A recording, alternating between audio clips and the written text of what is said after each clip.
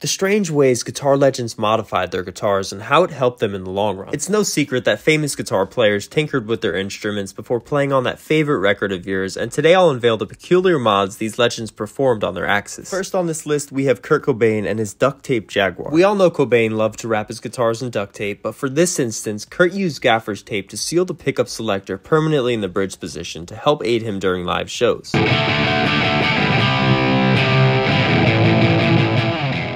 Next up, we got Slim Jim Hendrix and his reverse wound E string. Now, this mod is still a mystery to guitar techs worldwide, but Hendrix was caught multiple times with his low E string wound in the opposite direction. And after trying this mod out, I can confirm it raised the tension in my E string and would most likely have the opposite effect on a reversed headstock.